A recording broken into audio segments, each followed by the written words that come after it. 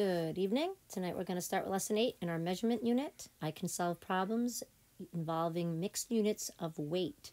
So last time we watched one on length and now we're going to be doing weight, which is those pounds and ounces. 21 pounds, 8 ounces plus 6 pounds and 9 ounces. So now they want us to add these uh, up, these measurements, and then being able to split them up into mixed units. So how many pounds and how many ounces does all of this uh, equal? And so, which is great, we can actually just, because we're dealing with addition, we could just match up the ones. We can add 21 pounds plus 6 pounds, and we're going to get 27 pounds. And then on the other end here, we get 8 ounces, and we can match that up with the 9 ounces to get 17 ounces. All right, so now um, in order for this to work, we want to make sure that everything is the way it should be, meaning like, you know, that we don't have anything extra over and we want to pull out those ounces so we can make pounds. Um, so let's make this right here. I'm going to make a number bond.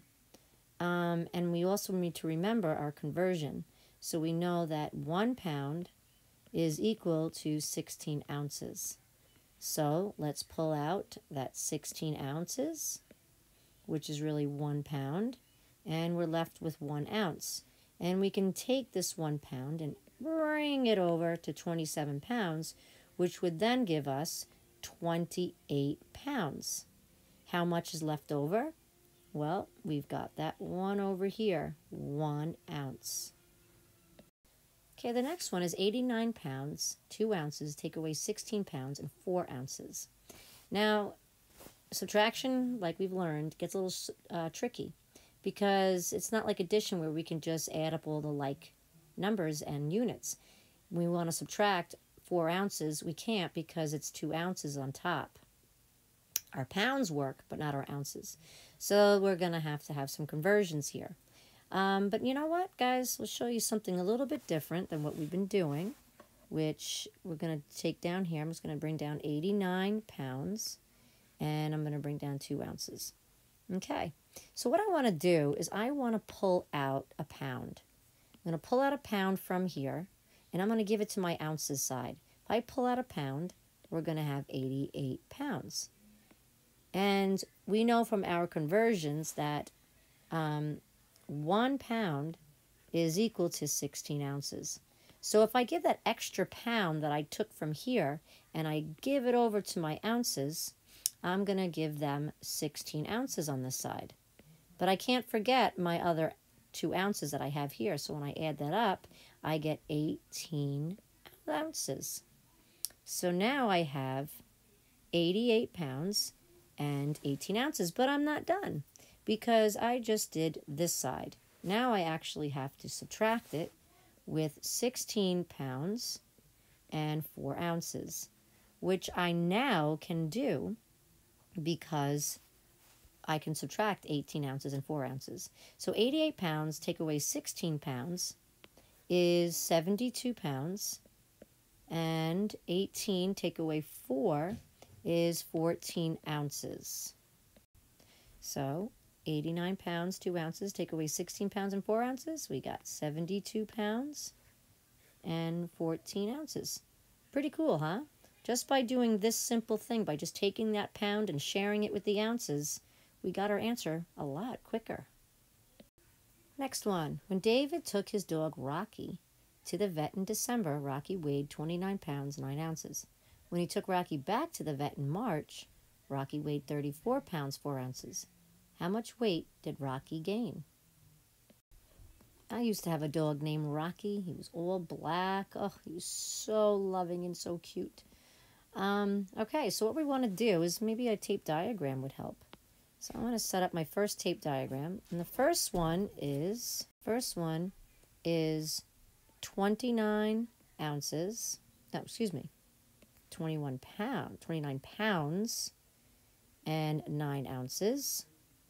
And then we have another one, which is going to re represent when we took Rocky uh, to the vet in March, and he weighed there 34 pounds and 4 ounces. So we need to know what happened here. What happened there? We don't know how much weight he gained from December all the way to March.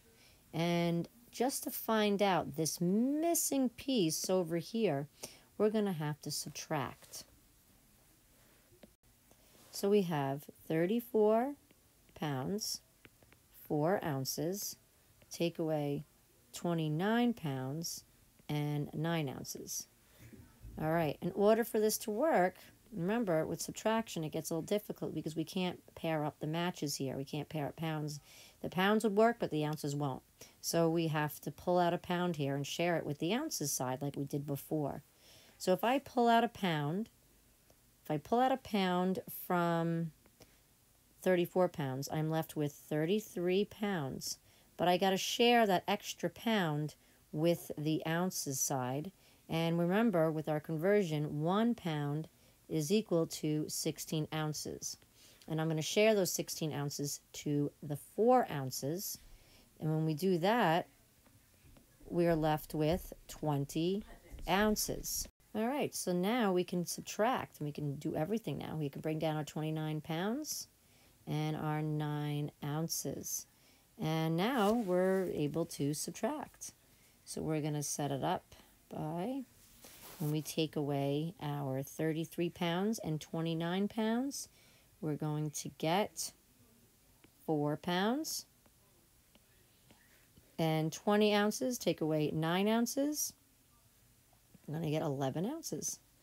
So, how much he gained from December to March, our friend Rocky, is 4 pounds and 11 ounces. All right, our last example tonight with weight. Bianca had six identical jars of bubble bath. She put them all in a bag that weighed two ounces. The total weight of the bag filled with six jars was one pound and four ounces. How much did each jar weigh? All right, so what we're going to do is we're going to need to have six, he had, she had six identical jars, and she put them all in a bag, and the bag weighed two ounces. Whoops, that's sloppy. The bag weighed two ounces, but the total weight of the bag filled with all the six jars was one pound and four ounces. And the thing is, is we have to figure out is how much did each jar weigh. So what we should do is we're gonna should, maybe we can draw some pictures here. So I'm gonna draw some sad looking cans. All right, so we have six cans here. Okay, and remember the bag. All right, well, and here's my little bag. Sorry, not great, but the bag was definitely two ounces. That's how much the bag weighed. And we know that all of the cans and the bag all equaled a total of all of this, bag and the cans, all equaled one pound and four ounces. So now, but the thing is now they want to know what each one of these weighed.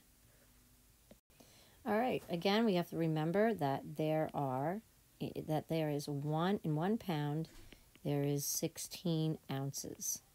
So what we want to do is we kind of want to just pull out um, those, those, those pounds and convert them into ounces. But first, remember, they don't want to know anything about the weight of the bag. We already know about the weight of the bag.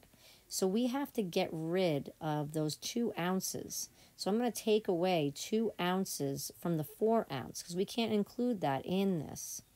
So if we do that, we now have one pound and two ounces. Okay, so now let's get this all into ounces. So one pound is equal to 16 ounces. And we have to add the two extra left over, which gives us 18 ounces.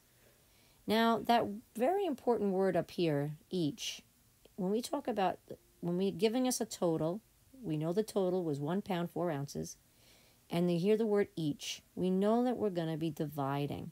And how many cans do we have? We have one, two, three, four, five, six. So we're going to be dividing by six. Our total is 18. Divided by six. Six goes into 18 three times. So each one of those cans is equal to three ounces. This is cute. This is what we call a meme. I know some of you guys like those.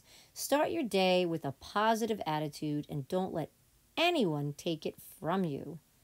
Now, that is so true.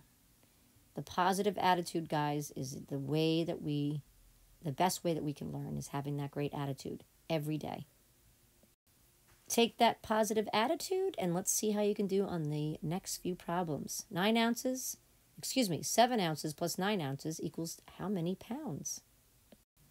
One pound take away 13 ounces is equal to how many ounces? Three pounds, nine ounces plus nine ounces gives us a mixed measurement of how many pounds and how many ounces. Oh, isn't he cute? Giving you a big smile. And a positive attitude gives you what this little boy is giving you the biggest smile and happy. So, guys, good job. You should all be happy, giving it your best effort and those shining positive attitudes. Have a wonderful night, guys.